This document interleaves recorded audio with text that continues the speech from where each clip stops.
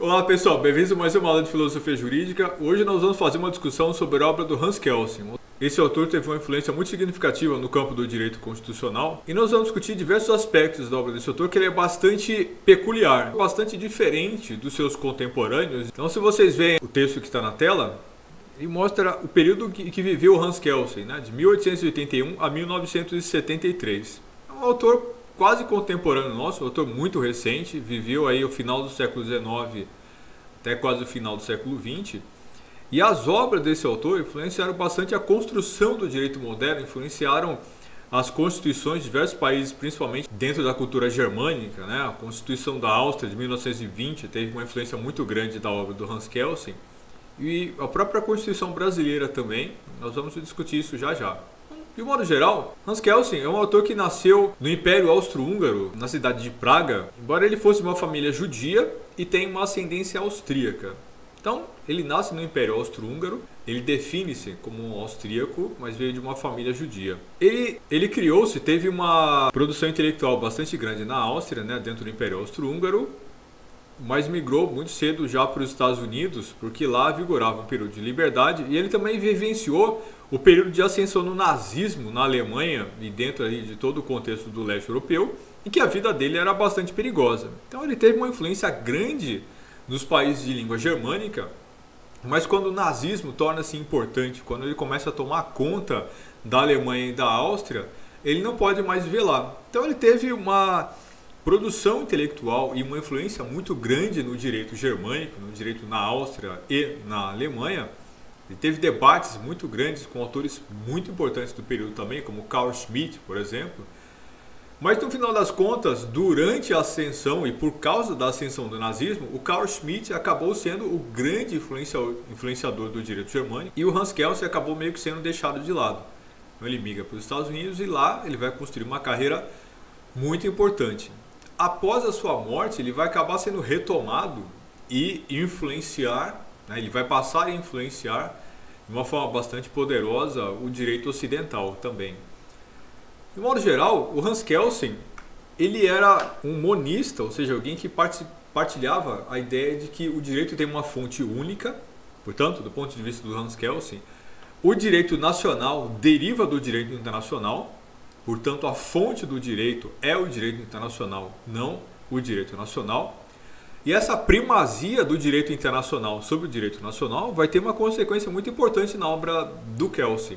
Do ponto de vista dele, seria contraditório considerar a constituição de um Estado como nova fundamental, posto que, na verdade, a validade da constituição estatal ela deriva do direito internacional. Então, para o Kelsey, existe uma um direito que é o direito das gentes, o direito dos povos, um direito que é um valor fundamental da norma jurídica que não depende do país A ou do país B, certo? Normas fundamentais do direito, elas são universais, portanto são transnacionais.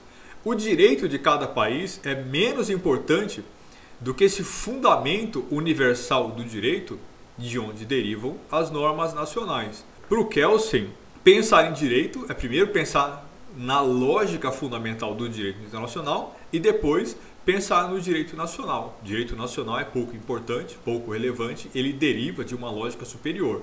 Kelsen não separa direito nacional e direito internacional, ele pensa numa fonte única, logo é um autor monista. Mais do que isso, ao longo da sua produção teórica, Hans Kelsen ele tenta unificar o direito nacional com o direito civil, né, diversas as diversas fontes dos códigos de direito, conteúdos dentro do país e também pensando em uma lógica internacional, ele tenta fundir tudo isso. Ele tenta criar, portanto, uma teoria única do direito, uma teoria universal do direito. Ele vai chamar isso de teoria pura do direito, uma teoria fundamental do direito, a partir da qual esse direito é uma ideia, é uma abstração racional não derivada da cultura, não derivada de interrelações sociais. Então Hans Kelsen separa o direito da cultura e da interação social. Para ele, direito é separado da filosofia, separado da, da sociologia e é um campo completamente separado. Em relação à sua produção intelectual, ela é bastante vasta, ela versa sobre bastante né, áreas em que o direito vai atuar, mas algumas coisas são importantes da gente discutir aqui. Então, ele tem um artigo importante que ele vai chamar de a jurisdição constitucional, que é onde ele aponta a, a sua teoria da modulação dos efeitos constitucionais ou dos efeitos da declaração de inconstitucionalidade. Nós já já vamos discuti-la. Mas ele também tem outro texto, que é o texto fundamental, né, a sua obra magna, que é o Teoria Pura do Direito, onde ele vai expor as características fundamentais do direito, da noção de direito, da, da sua origem e por que ele seria separado da filosofia da sociologia e das interações sociais. Mas a gente vai começar a nossa discussão falando sobre o que, que ele pensa sobre justiça. Então ele tem dois livros interessantes que ele vai chamar um o que é justiça e o segundo é a ilusão da justiça. Então, o segundo tópico, né, ou o segundo livro, já dá uma boa dimensão para a gente sobre o que o Kelsen, o que o Hans Kelsen pensa sobre justiça.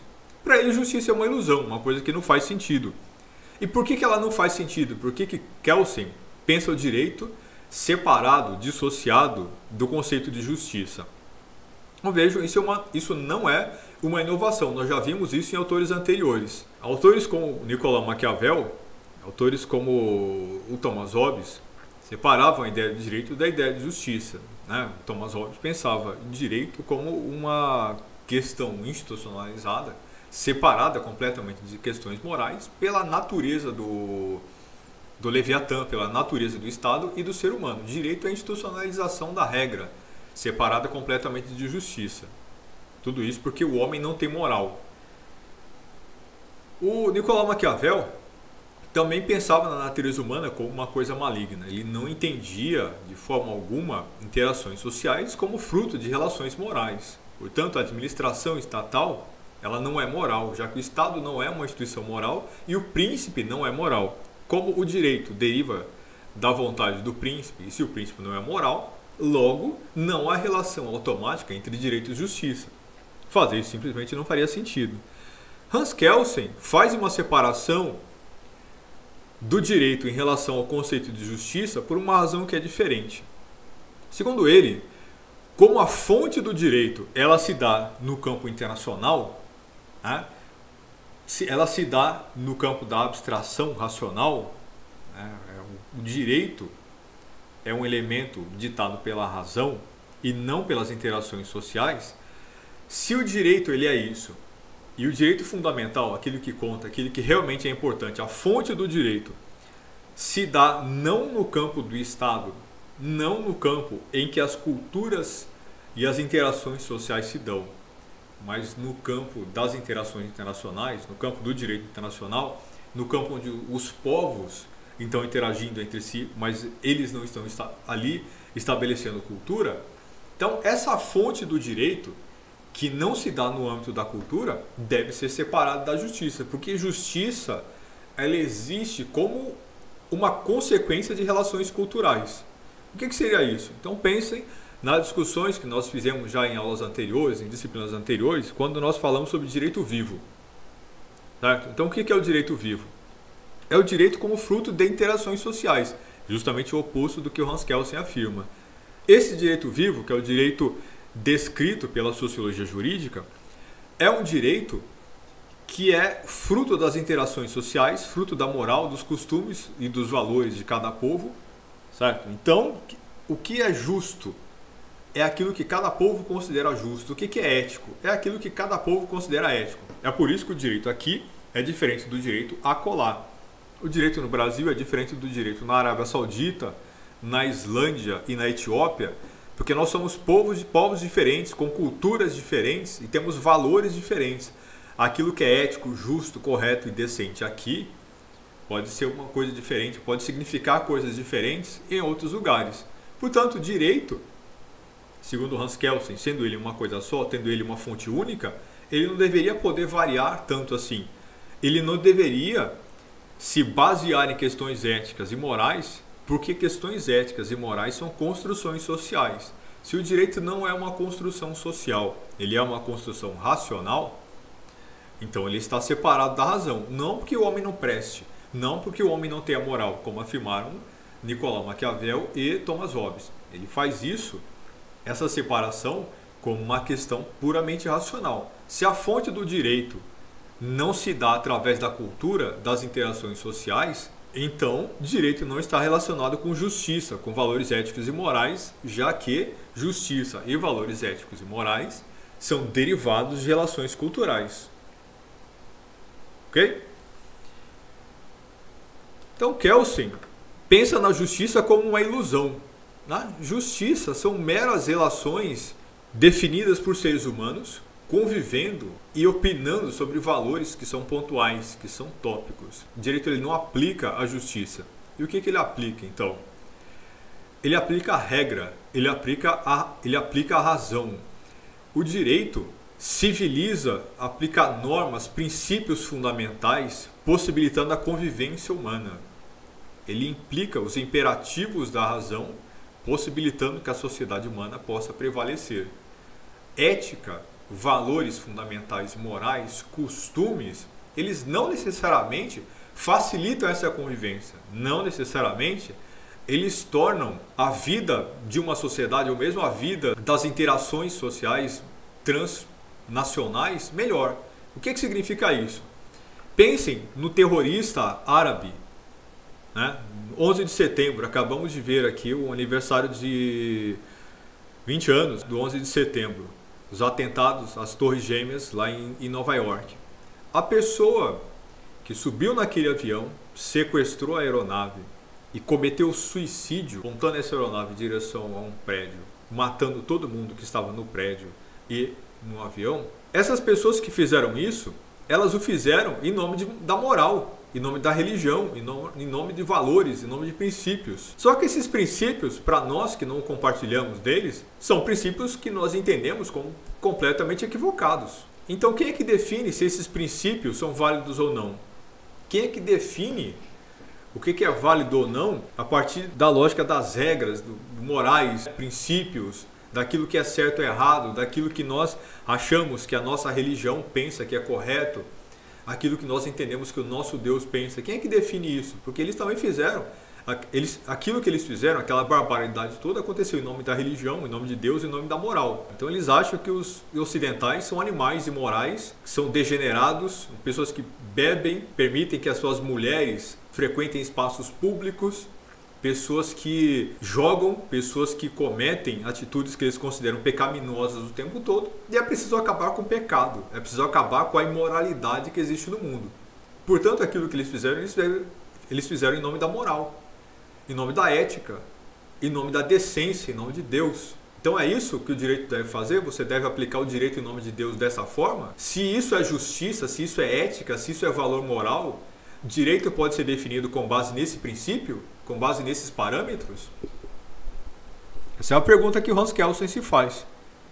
Se o direito fosse baseado, ou se ele fosse considerado válido a partir de normas e critérios morais, pura e simplesmente, então o direito poderia ser perfeitamente usado a partir de uma lógica que aqueles terroristas, aqueles terroristas também utilizaram. Então, com base nessa racionalização da ideia do que é justiça e da ideia do que é direito, Kelsen separa uma coisa da outra. Né? Direito deve ser separado de questões morais, não porque o homem é imoral, a questão é se a moral é definida por cada povo do jeito que cada povo imagina que seja moral, isso não pode ser uma norma fundamental que sirva como critério de validade para o direito, para as regras, para as instituições. As instituições têm que estar além disso, elas têm que estar fora disso. Por isso, para ele, a justiça é uma ilusão. Mas Kelsen ponto de vista aqui de uma questão que é mais prática, também fala sobre a teoria da modulação dos efeitos da declaração de inconstitucionalidade. O que, que, é isso? Uma teoria que ele defende lá nos anos 10 do século 20. É, em 1910, por aí, ele começa a, a definir esse tema. Ele escreve esse artigo, Jurisdição Constitucional, por volta desse período. Ele começa a escrever, mas ele vai ser publicado só lá em 28. Mas ele, ainda que não tenha sido publicado, ele já é, influencia bastante a Constituição Austríaca de 1920 e faz com que o, os legisladores austríacos acabem tendo incorporado esse efeito da modulação da declaração de constitucionalidade na, naquela Constituição. O que, que significa isso? Então, para fazer uma discussão aqui prática, vamos olhar o que, que a legislação brasileira que adota né, esse, esse elemento lá no seu artigo 27, o que, que ela fala. Então, ao declarar inconstitucionalidade da lei ou ato normativo, e tendo em vista razões de segurança jurídica ou de excepcional interesse social, poderá o Supremo Tribunal Federal, por maioria de dois terços de, seu, de seus membros, restringir os efeitos daquela declaração ou decidir que ela só tem eficácia a partir do seu trânsito em julgado ou de outro momento que venha a ser fixado. Que, que significa isso? Isso significa que um determinado dispositivo jurídico que seja considerado inconstitucional, ele pode transitar em julgado e ser considerado inconstitucional, mas os seus efeitos não necessariamente serão aplicados exatamente no momento em que a sentença for proferida, e os efeitos vão entrar em vigor no momento em que for considerado pelo legislador, pelo Supremo, né, pela sociedade, no momento que for considerado mais adequado que, que significa isso? Imagine um dispositivo que, que seja considerado inconstitucional, mas que tem um impacto multibilionário nas contas públicas. Certo? Digamos então, por exemplo, que uma questão legal esteja sendo discutida aí no Supremo e a resolução desse tópico, a resolução desse tema, possa levar a uma condenação do setor público né, que, que, que que ensejaria ou que levaria ao pagamento de bilhões de reais em ações judiciais. Você pode definir que tudo bem, é, a questão discutida pelo Supremo é declarada inconstitucional, mas pelo impacto que isso pode ter nas contas públicas ou na sociedade em geral, o efeito dessa declaração de inconstitucionalidade vai ser modulado para que ele não tenha um impacto tão grande na sociedade. Certo? Então você declara a inconstitucionalidade, mas os efeitos dela vão passar a valer a partir do momento que seja considerado socialmente aceitável. Momento, a partir do momento em que, se a questão envolver o Estado, isso não leve o Estado à bancarrota. Certo? Então a questão é declarada vencida ou perdida, e os efeitos decorrentes dessa decisão eles passarão a valer a partir um momento em que for definido pelo Supremo, aí por maioria de dois terços, para que os impactos sociais sejam minorados. Ficou claro para vocês? Essa é a modulação dos efeitos de declaração de inconstitucionalidade. Em relação às questões de soberania, Hans Kelsen, justamente por ser um defensor da tese de que o direito tem uma única fonte, sendo ele, portanto, um monista, para ele a soberania nacional muitas vezes pode ser um problema para a aplicação do direito. Então vejo que ele é o anti-teórico do direito vivo. Ele é um autor que pensa no direito não como o direito nacional, não como o direito definido em cada estado, mas se o direito para ele tem essa fonte internacional, mais não mais justo, mas mais próximo da sua aplicação correta e racional, seria aquele direito que se aplica a partir de uma lógica que é internacional. Então, mais nacionalizado o direito, menos racional ele será e, portanto, mais inconveniente ele será para uma sociedade. Então, ele vai definir que a soberania das fronteiras nacionais apresenta um problema para a validade e para a racionalidade do direito, já que esse direito nacional tenderá a ser um direito definido pelos hábitos e pelos costumes, portanto, vinculado a uma percepção de justiça que nem sempre é adequada. Então, ele aplica a sua teoria do direito, sempre orientado para a efetividade do direito internacional, e a lógica dessa geopolítica é muito importante para entender a, a, obra do Hans Kelsen. Então, direito mais racional é o direito mais orientado para uma lógica internacional. Ele vai fazer uma série de proposições, por exemplo, para pensar um direito transnacional, a criação de um direito europeu, de um direito, de um direito que vá para além das bordas nacionais porque ele considera que essas fronteiras nacionais são um empecilho para a aplicação do direito ou para a aplicação racional do direito. Certo? Não sei se isso ficou claro para vocês, mas vamos pensar num, em, por que, que ele acredita nisso tudo. De onde vem essa interpretação do Hans Kelsen que as fronteiras nacionais são problemáticas, que elas são mal? Primeiro, óbvio, vocês estão vendo aí, a, nós vimos no começo da aula, o impacto que o nazismo teve na vida dele. Né? Foi perseguido pelo nazista, pelo nazismo, sendo ele um judeu, austríaco, ele teve que fugir do seu país para não ser morto, para não ser perseguido por causa da sua né, condição étnica. Então, mais do que isso, ele nasce no, no Império Austro-Húngaro, na cidade de Praga, sendo um austríaco, esse Império Austro-Húngaro se esfacela, ele se desfaz ao longo da vida do Hans Kelsen e ele foge dali de um Estado imperialista, de um Estado que visa destruir a Europa, que visa destruir as relações nacionais com base numa ideologia completamente abominável. Ele viaja para os Estados Unidos e lá ele constrói a sua vida. Então a vida dele segue uma lógica transnacional. Ele é um sujeito que era judeu, que nasceu em Praga, no Império Austro-Húngaro, mas ele era austríaco teve uma importância muito grande na Alemanha, viveu nos Estados Unidos a maior parte da sua vida, então ele era um cosmopolita, entendia, ele se entendia no final das contas como cidadão do mundo, então ele entendia que não, não havia racionalidade e você pensar no direito como uma coisa meramente circunscrita às fronteiras nacionais. Esse direito nacional ele abre espaço para, para um monte de, de, de situações que ele pode considerar, que podem perfeitamente ser consideradas abomináveis.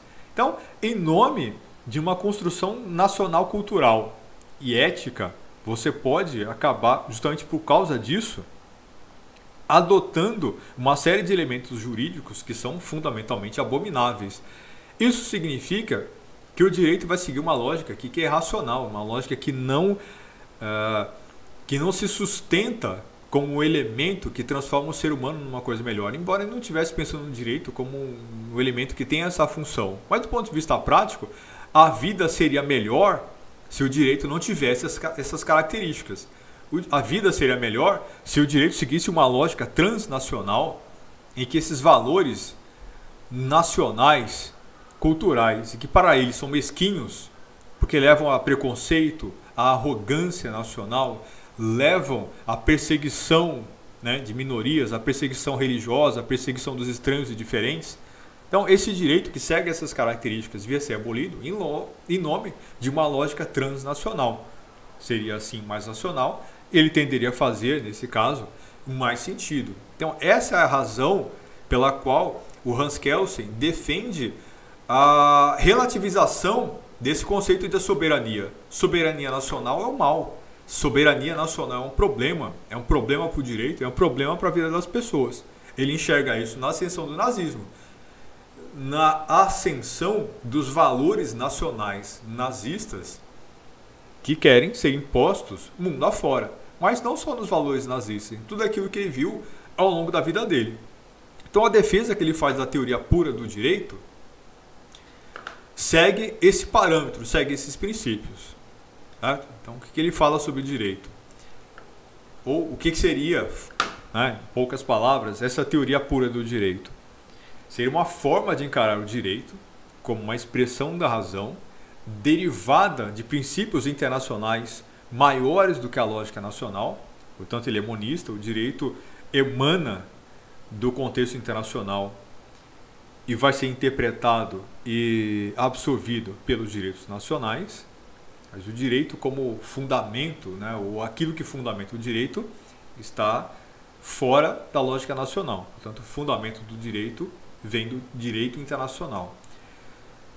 Isso tudo por conta da racionalidade. Então ele separa o direito, que é racional, da moral, dos costumes e dos valores, que são nacionais e não são racionais. Então ele separa o direito da filosofia, ele separa o direito da sociologia, porque ele não pensa no direito como fruto de interações sociais. O direito não depende de considerações éticas e morais, de considerações culturais, para poder ser considerado válido. E é por isso que ele é um juspositivista. Né? Então lembre-se que nós estamos discutindo aqui nessa, nessas nossas aulas uma série de autores que são positivistas e depois vamos falar de autores não positivistas. positivismo, portanto, é aquela corrente que pressupõe a aplicação do direito exatamente da forma como a norma escrita está positivada e, segundo essa corrente, no, os critérios ou normas para a validade desse direito não devem estar ligados a considerações morais ou considerações que estejam fora daquilo que é o próprio direito positivo. Portanto, direito é uma emanação da razão, deve ser aplicado exatamente da forma como está escrito e não depende de critérios externos para ser considerado válido. Essa é exatamente a tese do Hans Kelsen. Tudo isso porque para ele considerações morais estão vinculadas a valores nacionais, a princípios que podem estar considerados ou que podem ser profundamente equivocados e o direito não pode ser refém dessa, desses pensamentos sobre moralidade, desses pensamentos, dessas interpretações nacionais e que são pequenas e que são culturais, que muitas vezes podem ser mesquinhas, daquilo que é justiça.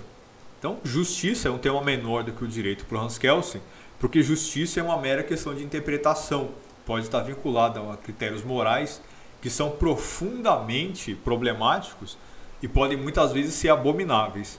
A razão da qual deriva o direito, a racionalidade, o pensamento reto, né? o pensamento humano desprovido de paixões, orientado para a busca daquilo que é correto, daquilo que é mensurável, daquilo que é ditado e derivado da razão, para ele faz mais sentido. Portanto, ele é um racionalista e deriva a sua noção de direito, portanto, a sua te teoria pura do direito, da razão e não da moral, e não da justiça. Ok? Então era isso, pessoal. Era essa a discussão que nós tínhamos em mente para hoje, essa discussão que eu queria fazer com vocês hoje em relação à obra do Hans Kelsen. Obviamente, é um autor que é bastante complexo, tem muito mais elementos do que isso, mas não faz sentido a gente ficar discutindo milhões né, de temas dentro da obra do autor. Esses são, de um modo geral, os temas centrais da obra do Kelsen. Então, é importante que vocês pesquisem mais sobre ele, né? que vocês leiam sobre esse autor, que busquem se aprofundar em relação a ele, porque é um autor que costuma ser muito pedido, muito requisitado em concursos. Né? Tende a ser um autor bastante utilizado para justificar doutrinas jurídicas importantes, então é um autor que vocês precisam conhecer. Ok? Então é isso, um abraço para vocês e até a próxima.